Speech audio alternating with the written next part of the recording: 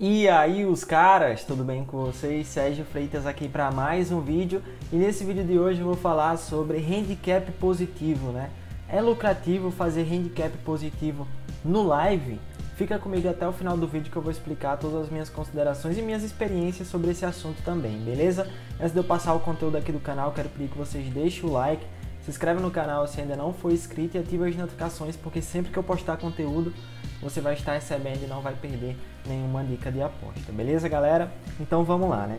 Para quem não sabe, o handicap positivo é onde a maioria dos jogos tem valor. Você vai encontrar valor na maioria dos jogos apostando em handicap positivo do que em handicap negativo, né? Isso é a maioria dos apostadores já decifraram isso, né? Só que a maioria dos iniciantes vão pelo lado contrário.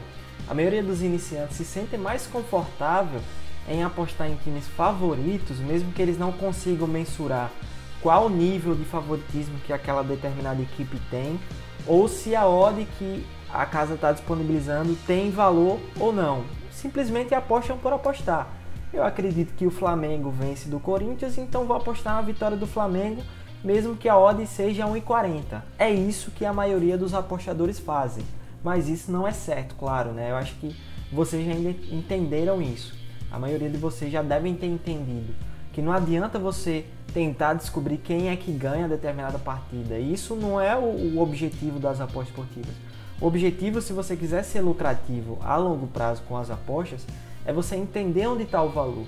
Por mais que o Flamengo seja favorito diante do Corinthians, mas e a odd que está sendo disponibilizada? Vale a pena ser aproveitada? Será que compensa o risco?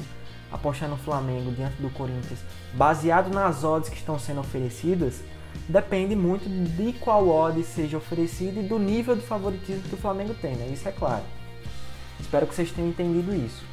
Mas quando a gente vai para o live, aí o live é um pouco diferente do pré-jogo, até porque, né, quando começa a partida, a tendência é que as linhas positivas, as linhas de handicap positiva, elas tendam a cair.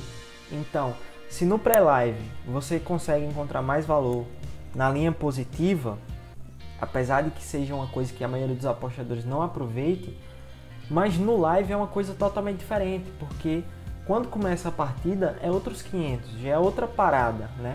Claro que me baseio muito das odds pré-jogo, eu faço minha precificação, eu confiro a movimentação das odds, e quando se inicia o jogo, eu acrescento a leitura de jogo mesclada todos esses pontos das odds do pré-jogo para eu poder fazer minha entrada. Então, às vezes as odds corrigem muito rápido, demoram a corrigir, o jogo apresenta um cenário e nos oferece valor.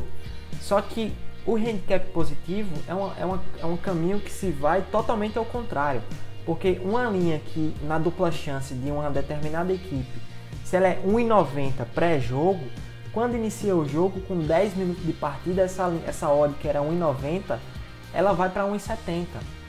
Então, você já perde 20 ticks de diferença. Então, se você deixa para fazer uma aposta em live num handicap positivo, você pode até ganhar essa aposta. E você pode até talvez ser lucrativo a longo prazo. Mas você vai perder 20 ticks de diferença por você não ter pego essa aposta pré-live e ter pego essa aposta ao vivo. Então você vai estar tá sempre perdendo da ordem de fecho e isso vai atrapalhar seu lucro no longo prazo. Então se você quiser fazer handicap positivo, é muito melhor que você faça pré-jogo do que em live, porque no live, é como eu falei, essas odds elas tendem a cair. Pode ser que elas subam, mas se essa uma odd na linha positiva ela sobe, isso significa o quê? Se ela subiu, é porque o time está jogando mal, e se o time tá jogando mal, por que, que você vai, diabo você vai apostar num time que tá jogando mal, né? Não faz sentido para mim. Então, eu prefiro não fazer handicap positivo e dificilmente eu faço handicap positivo. Principalmente agora, onde eu só tô apostando no live, né? E aí, Sérgio? Então você vai perder todo o valor que o mercado oferece se você não faz o handicap positivo. Por que você não faz o handicap positivo no pré-live e faz e, e, ao invés de fazer no live? Eu prefiro não fazer, né? Por quê?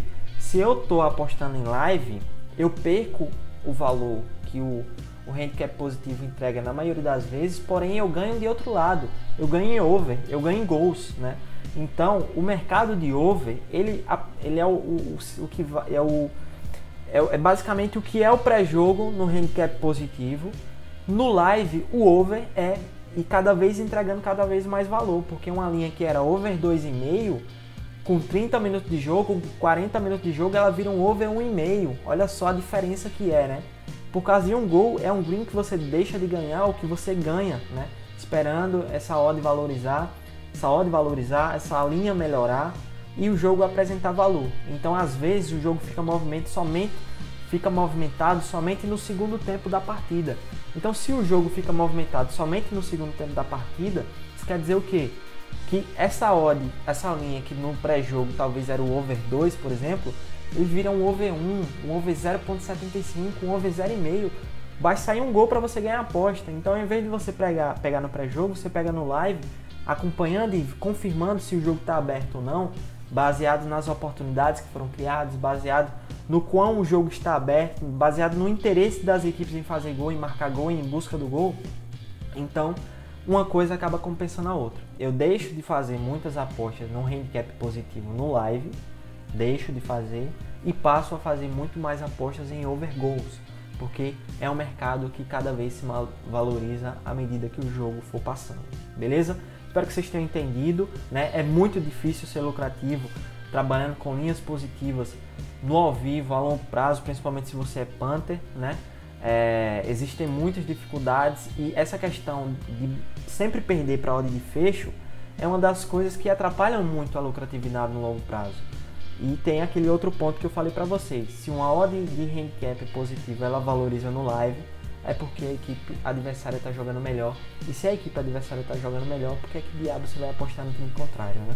Então é basicamente isso que vocês têm que entender, analisar, calcular, estudar também, tirar como exemplo para realmente saber se faz sentido para você, se nas suas apostas realmente é isso que acontece, porque para mim foi o que aconteceu e por isso que eu estou passando esse esse estudo de caso, essa experiência para vocês, porque talvez muita gente não tenha se ligado nisso, né? E precisa se ligar, beleza? Então é isso, esse foi o tema do vídeo de hoje. Se você tem alguma coisa para agregar, acrescentar nesse vídeo, deixe nos comentários se você tem alguma experiência. Compartilhe esse vídeo com seus amigos apostadores e aqui na descrição vai ter o link da 188bet, que é a casa que eu utilizo para realizar minhas apostas. Se você ainda não tem conta, cara, o link para esse cara já está na descrição. Nos vemos no próximo vídeo do canal.